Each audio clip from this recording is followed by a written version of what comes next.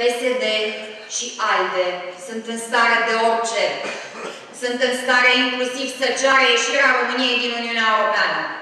Să nu ne mire dacă acest lucru va deveni realitate curând.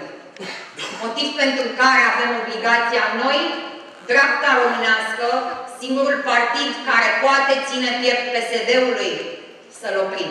Liberalii au aprobat sâmbătă în cadrul Consiliului Național al Partidului forma de conducere a formațiunii în aceste alegeri parlamentare. Astfel, delegațiile la Consiliul Național al PNL au hotărât trecerea de la copreședinția partidului la președintele unic în persoana Linei Gorghiu.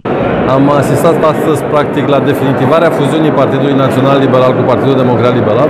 Astăzi, practic, am modificat statutul și am formalizat în documentele partidului președintele unic al Partidului Național Liberal. Practic, începând de astăzi, 8 uh, octombrie, Partidul Național Liberal are conducere unică, de sus până jos, de la nivelul președintelui național al partidului până la nivelul tuturor filialelor Partidului Național Liberal.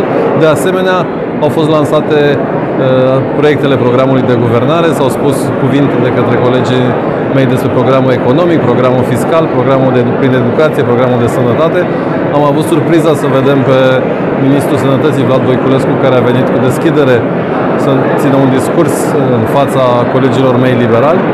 Domnul ministru a declarat încă de la început că dânsul nu va candida la aceste alegeri parlamentare, dar este atras de programul Partidului Național Liberal.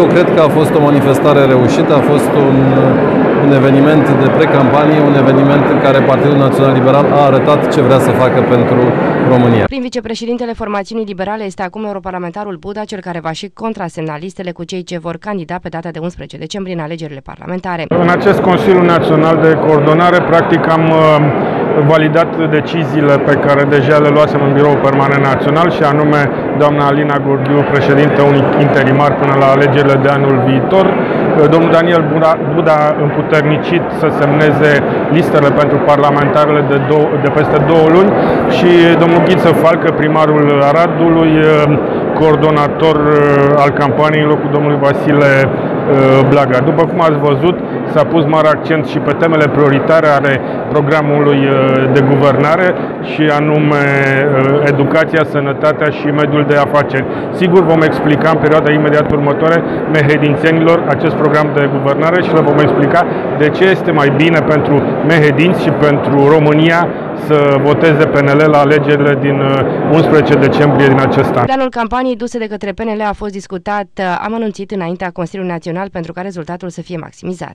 Știți în ce stă puterea noastră a fiecăruia din sala asta, a fiecăruia de pe scena aceasta, a fiecărui om care simpatizează cu dreapta românească?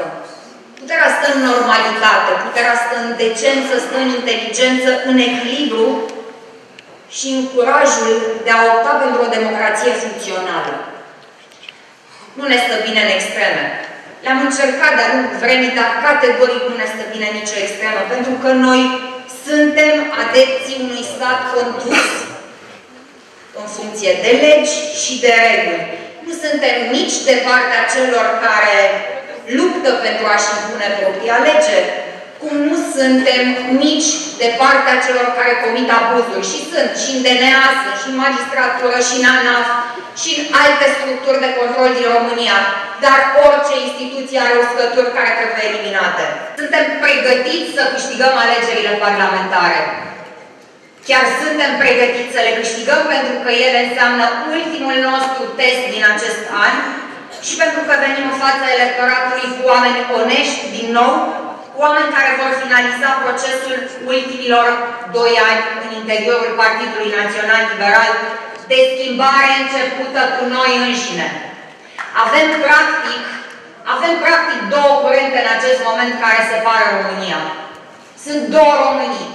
România noastră, a Partidului Național Liberal și a societății din România care, care își dorește genul acesta de oameni și genul acesta de politică și o Românie mică și meschină reprezentată de PSD ALDE, care se scaldă niște apă murdare.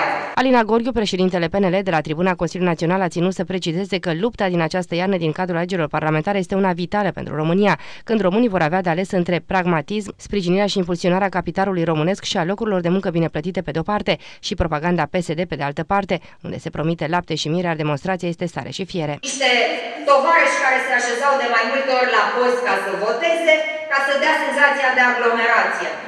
Vă aduceți aminte că președintele PSD chiar i-a demascat uh, pe americani de principalii vinovații a acestor înfrângeri. Mai nou, însă, și asta vă spun, nu este caz de Parlament, ci este caz de spital, mai nou aceeași lider ai Partidului Social Democrat, la care se adaugă și alții din ALDE, neagă furia tinerilor care l-au contestat pe Victor Ponta după momentul colectiv.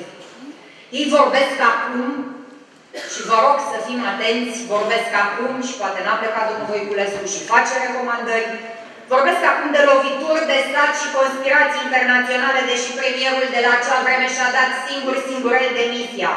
De bunăvoie, ba chiar aplaudat de colegii săi din PSD la acel moment.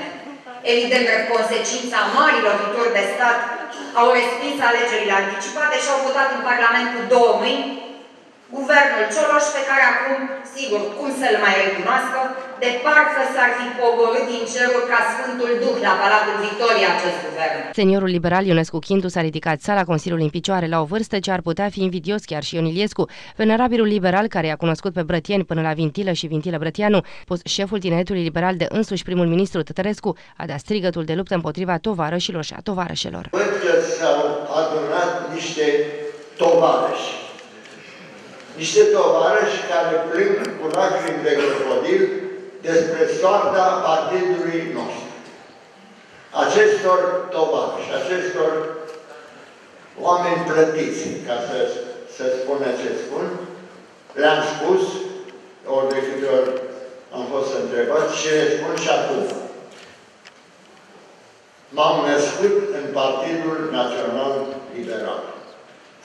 Tatăl meu a fost unul din fruntașii liberali din vremea primei Constituții a noastră, ca și bunicul meu, fondator al partidului. Deci m-am născut în acest partid.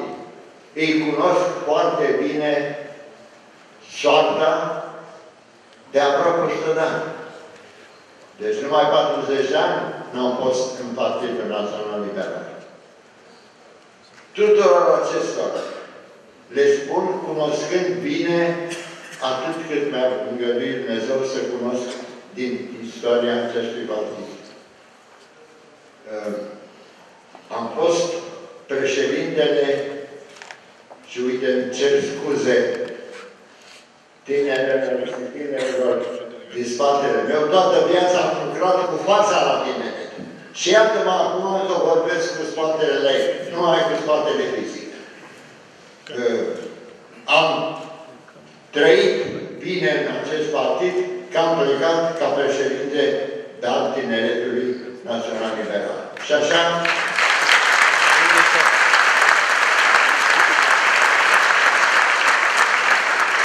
și să mai spun ceva interesant pentru cine doar citește istoria partidului. Am fost desemnat ca președinte al Tineretului Național Liberal din Prahova de postul președinte al partidului nostru și atunci prim-ministru Tătărăscu. Am avut și am și acum mândria că l-am cunoscut pe George Brătianu într-o vizită a lui la Ploiești și apoi să mă duc în celula unde sfârșit și să mă îngenunchi. Mă...